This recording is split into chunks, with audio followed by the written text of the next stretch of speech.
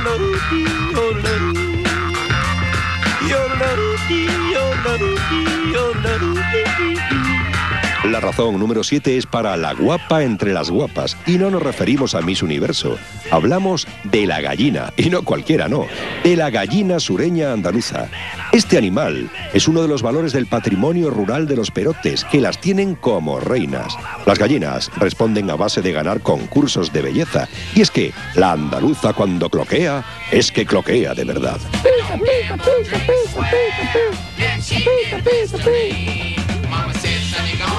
Hola. Hola, ¿qué haces? Echándole un poquito de hierba a las gallinas. ¿Qué gallina es esta? La andaluza sureña es una gallina que precisamente en la provincia de Málaga es muy significativa porque hace ya 2.700 años en el yacimiento fenicio de la Toscana aparece el resto de estas gallinas. Yo siempre digo que es la gallina de nuestros abuelos, las gallinas que estaban sueltas en el campo y que pertenece un poco a la historia de la, de la agricultura en Andalucía. ¿Es difícil mantener la especie? Sufrimos una invasión de que yo le llamo de la, de la sintética de estas de comerciales, que empezó a, a apoderarse de nuestros campos. Pero por suerte hay una serie de asociaciones ahí en Andalucía, en concreto somos cinco asociaciones y estamos rescatando la gallina. ¿Y qué se hace? Pues mira, una de las cosas que hacemos, una de las actividades es un concurso anual, que hace unos días hemos hecho el quinto concurso, y os voy a presentar eh, a Salvador Meléndez, que es el presidente honorario de nuestra asociación. Es un gran gallinero que él os explica las características. Esta gallina es guapa, ¿eh? Esta es la más bonita del concurso. Justamente las miles de campo mm, mm, reúnen la que reúne más condiciones la que sale a mí. La gallina tiene que tener tanto de, de pata como de muslo. Tiene de cola de pincel como tiene esta. Tiene que tener el torso, tiene que ser plano y el cuello escuadra como lo tiene esta. Eso es la característica de la gallina andaluza.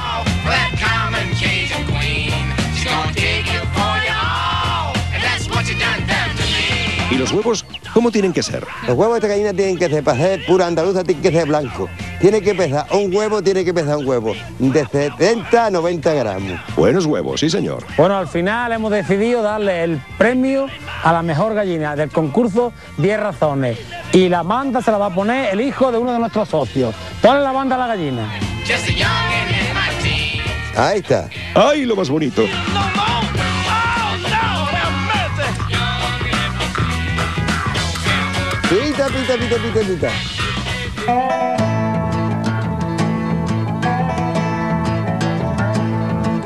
Si vas a la barriada del Chorro, te quedarás prendado del entorno. Eso sí, no te distraigas ni un pelo, porque igual te llueven piedras. Pero tranquilo, aquí a los forasteros se les recibe con los brazos abiertos. Lo que pasa es que el juego por excelencia es el tiro con onda, que para eso es tierra de pastores. Aquí, si te llamas Goliat, no se te ocurra asomar la cabeza. ¿Qué hacéis? Pues estamos jugando al tiro con onda y al tiro con tirachina, un juego muy antiguo que hemos recuperado y lo celebramos en mayo. Eh, pues hay gente, ¿eh? Cada año viene más gente, participa más gente y tenemos más éxito.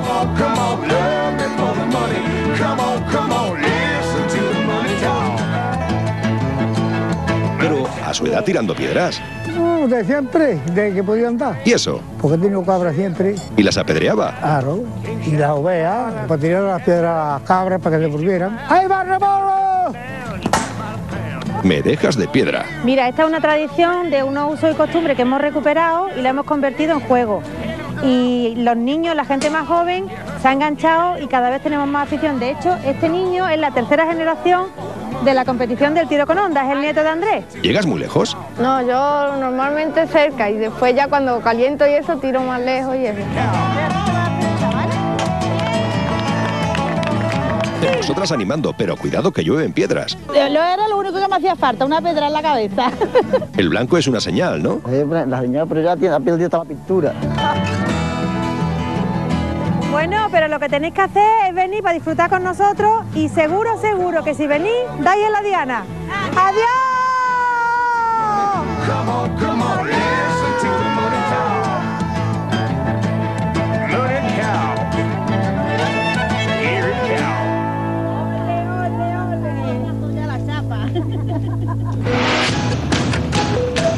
Ya hemos descubierto varias razones para visitar Álora.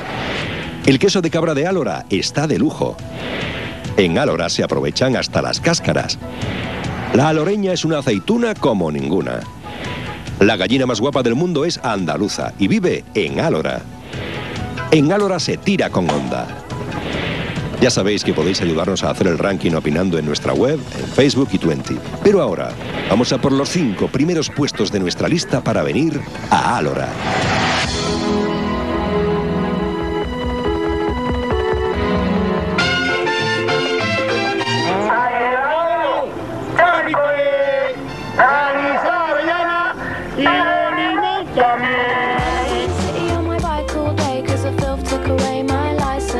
Llega la razón más fresquita del ranking, el helado de avellanas. Si en Alicante presumen de helados, los perotes no van a ser menos. Esta clase de horchata o granizado, que cualquiera puede ser, tiene más de un siglo de historia. Rico, sano y fresquito. Los saloreños lo toman de muchas maneras, incluso con churros. ¡Hay helado, oiga! ¿Qué? ¿Dándole al mortero? ¡Hombre, claro! ¿Queréis saber cómo se hace? ¿Y esto del helado, de dónde viene? Yo creo que cientos de años. Y es típico de aquí. El mortero se las trae. Se va a hacer en el mortero este. Yo empecé en este mortero, que es una, una cría al lado de este. Ah, Pura artesanía, pero ¿qué lleva? La avellana americana tostada y luego tenemos la avellana americana sin tostar. Ahí viene la diferencia. Canela en rama y azúcar blanca. De aquí de Málaga. Ah, y el agua, claro. Pues al turrón o, a- o al helado. Partimos la canela y empezamos a majarlo hasta que se ponga en polvo. La que convertir en polvo, en polvo, en polvo la canela. Pues ya que está la canela molida, vamos a echar la avellana. Y seguir majando la avellana a sacarle el aceite. Hasta que sacamos el aceite y hacemos la pasta. Y una vez que ya la avellana se convierte en una crema que es aceite, pues a continuación el agua. Le echamos la agüita, poquito a poco. Bueno, y ahora vamos a colarlo para quitarle la zurrapa. A falta de un colador, dos. Porque algunas veces se me escapa y lo que no quiero es que la granza me caiga al helado. Porque esto igual que un café, un café con granza no está bueno, ¿no? Claro.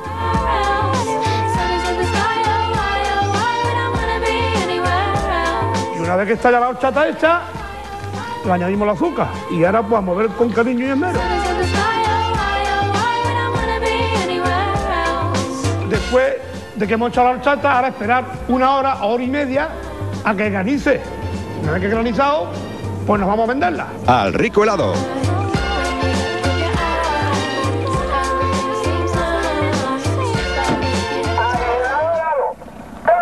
¿Y este soniquete? Ese es que todo el mundo me conoce mi, mi seña de identidad. todo el mundo sabe que cuando escucha el altavoz que voy- viene el del helado. Y no, ya verá, mira. ¿Eh?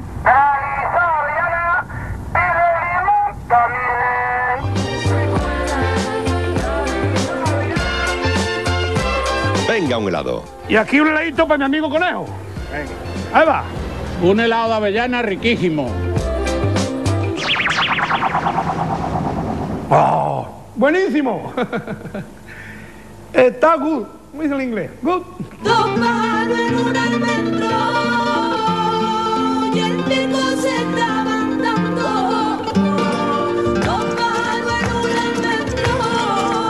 todos los cantes de Málaga, el que más destaca es la malagueña, que tiene su cuna en Álora. Esto es así, pues así lo dice una letrilla. Aquel que quiera escuchar cantar bien la malagueña tiene que venir al lugar. Es un cante muy bravío que se ha dado en esta tierra y en ningún sitio ha nacido. Por si tenías dudas.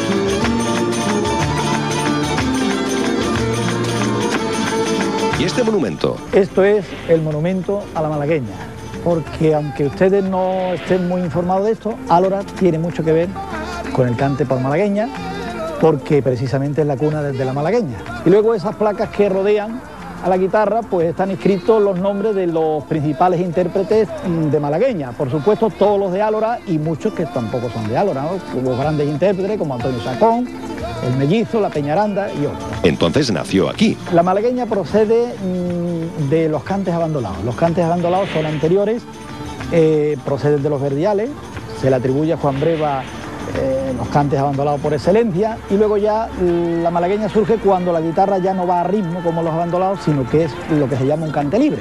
Hombre, de la malagueña se puede estar hablando días enteros, mucho tiempo, pero yo creo que lo fundamental sería pues disfrutar de ella, así que si queréis pasamos a la peña flamenca y allí vamos a escucharla.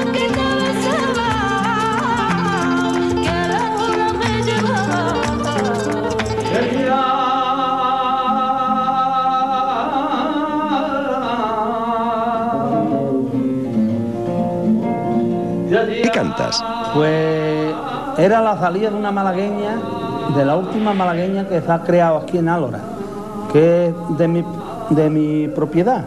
Es tuya, vamos. Sí, me ha costado mucho trabajo, mucho tiempo, tanto por aquí y por allí, hasta que yo creo que la conseguí. Para que todos la disfrutemos. Y son las que cantan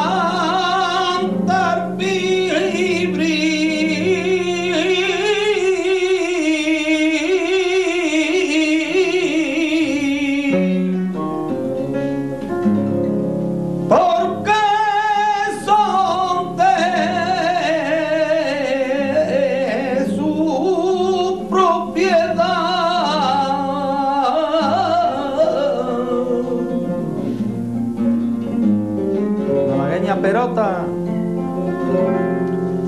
Y el cante por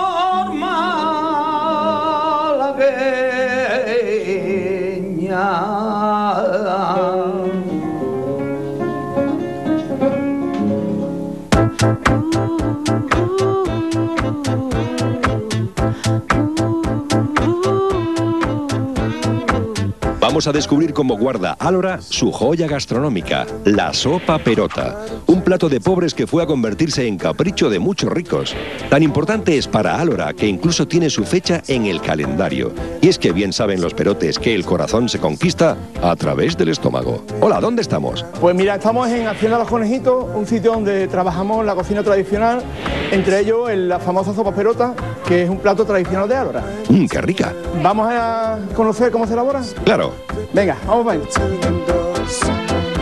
¿Cómo es esta sopa? Bueno, es un plato muy antiguo, del cual eh, lo trabajamos bastante en nuestro restaurante y el cual Salvador se va a encargar de elaborarnos una ración para 10 personas. Espero que cuenten con nosotros. ¿Qué ingredientes lleva? Pues los ingredientes para hacer una sopa perota son aceite de oliva, patata, pimientos verdes, cebolla, espárragos, tomate y un buen pan cateto. Y para culminar, el agua.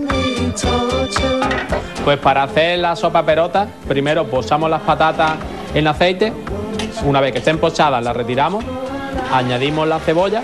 Cuando esté la cebolla empezando a estar pochada, añadimos el pimiento. Y por último, el espárrago. Cuando esas tres verduras estén casi pochadas, le añadimos el tomate, que es, digamos, la verdura más tierna de las que lleva.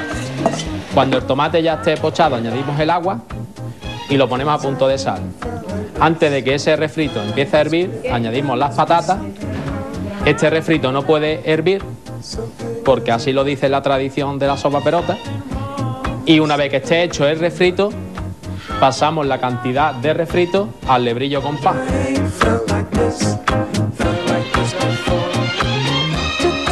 ¿Por qué no se deja hervir?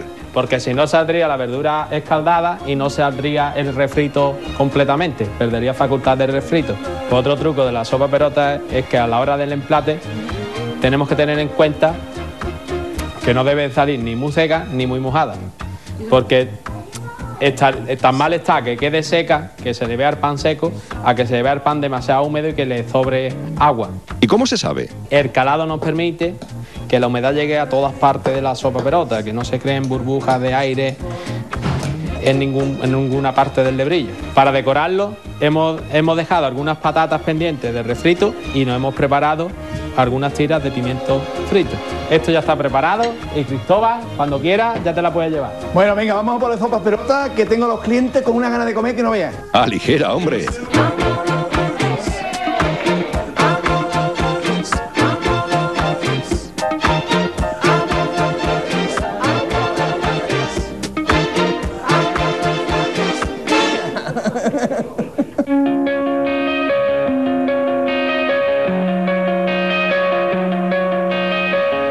Razón 2 es para uno de los momentos más especiales de la Semana Santa aloreña, la despedía.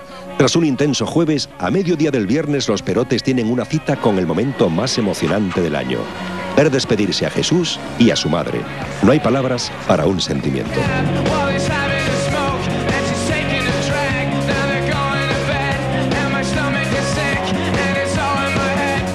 Hola. Hola, buenas tardes. Nos encontramos en la puerta de la parroquia de la Encarnación, donde se encuentran los titulares que hacen protagonistas de la despedida en Semana Santa. Jesús Nazareno de las Torres y la Virgen de los Dolores Coronados.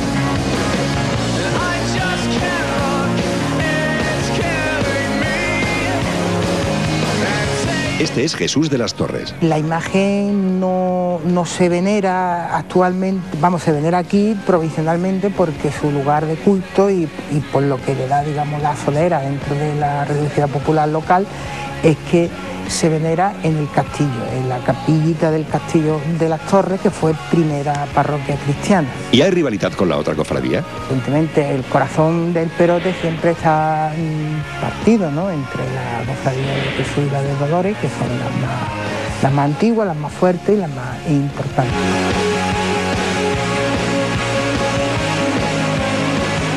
¿Dónde estamos? Delante de la Señora de Ávila, la Virgen de los Dolores Coronada, mi reina, la reina de Ávila. Esta imagen es de la, de la escuela anteguerana del siglo XVI. ¿Las cofradías siempre han estado separadas? Desde el año 44, creo que fue, hasta el año 50, estuvieron las dos cofradías junto la del Señor de Actor y la Virgen de los Dolores. ¿Y no se unen? No, que va en la vida. ¿Y eso? Porque no, porque estamos muy bien estamos, porque para eso también es su cosilla y tiene su aquel, ¿no? Eh, a ver qué, qué cofradía está mejor ese año, qué, qué estrenos se han hecho, qué...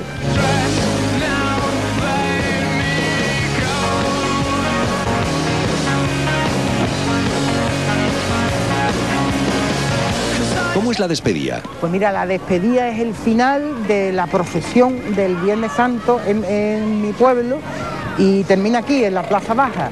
Jesús de las Torres entra por una parte, la Virgen de los Dolores entra por otra y llegan al centro de la plaza donde se cambian los portadores, los tronos que pesan sobre mil kilos aproximadamente, pues lo llevan 50 personas y ahora lo cogen 8.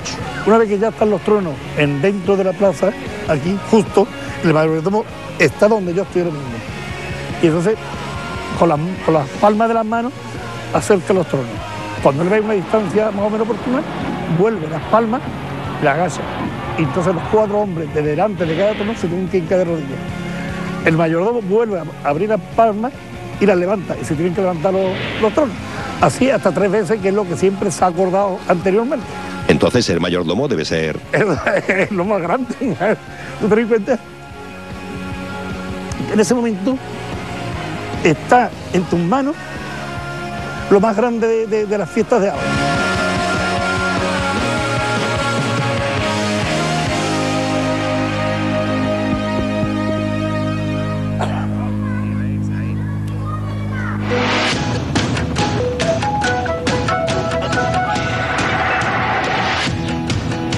Recuerda que puedes ver el programa en 10razones.es y en Canal Sur a la carta. Si quieres que vayamos a tu pueblo, entra en nuestra página de Facebook y danos tus razones. Ayúdanos a elegir las mejores razones para visitar tu pueblo. Queda la razón número uno, pero no sé si te habrás dado cuenta de todo lo que hemos descubierto en Álora. En Álora se hacen unos quesos de cabra que quitan el sentío. Las aloreñas han recuperado oficios del pasado. No hay aceituna más dulce que la aloreña. La gallina más guapa del mundo es andaluza y vive en Álora. Los aloreños de El Chorro apuntan con onda. Álora lleva más de 100 años haciendo helado de avellana. Álora es la cuna de la malagueña. En el pueblo de los perotes la mejor sopa es la perota. La despedida une a todo el pueblo en torno a dos hermandades.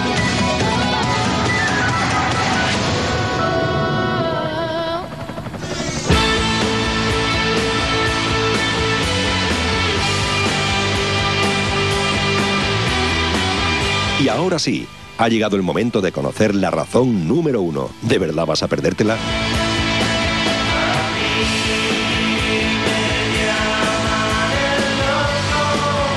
Álora presume de su símbolo, el castillo. Esta fortificación árabe estuvo expuesta durante años a un cerco continuo. En uno de estos envites murió al pie de las murallas en 1434 el adelantado de Andalucía, don Diego de Rivera. Una trágica noticia que relata el conocido romance de Álora, la bien cercada. ¿Soportará el castillo nuestro asedio? ¡Ah, del castillo! Pues como aquí podéis ver, nos encontramos en el Castillo de Álora. Es uno de los mejores símbolos de nuestra localidad, de nuestra ciudad. Y si queréis conocer algo más, podéis veniros conmigo. Seguidme, por favor.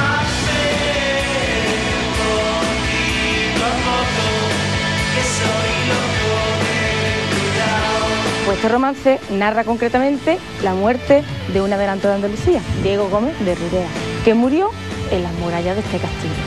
Cuando un morico, se escondido detrás de una almena, le dio tregua. Porque claro, él intentaba conquistar el castillo. Le dio tregua, le dijo, "Eh, tregua, tregua, adelantado, por tuyo se da el castillo. Y claro, el adelantado Diego Gómez de Rivera se echó la visera arriba, le engañó, le- se lo dijo a traición y le tiró una flecha que le entró por la frente y le salió por el colodrillo, que es el cogote. Apuntaba bien los puñeteros. Lo hizo con muy mala leche. A ver si nos da una tregua. Pues claro que sí. Seguidme, vamos a verlo. Os voy a enseñar otros tesoros.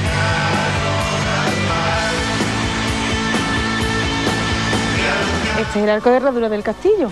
Este es uno de los mayores tesoros y símbolos de nuestro, de nuestro castillo y de nuestro pueblo. ¿Qué tiene de especial? Pues que es único en Occidente y para encontrarnos otro igual nos tenemos que desplazar a la zona oriental. Concretamente en Damasco es donde encontramos uno igual que este.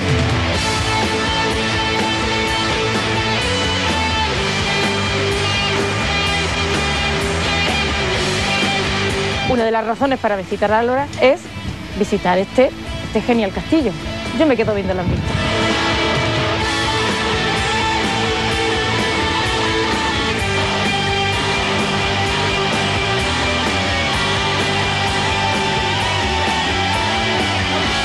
Así es Alora, un remanso de paz y un balcón al Guadalhorce, una fortaleza bien cercada en el romancero y un pueblo bien cantado por malagueñas. Un lugar que busca en la tierra la fuente de trabajo de hoy sin olvidar la que le dio de comer ayer. Un pueblo que lleva a gala sus tradiciones y que disfruta arrancando sonrisas con sabor a avellana o alrededor de un lebrillo de sopa, tal y como lo hacían tantos y tantos perotes que se fueron con la idea firme de que en Álora las despedidas no separan, sino que unen. Hasta luego muchachos.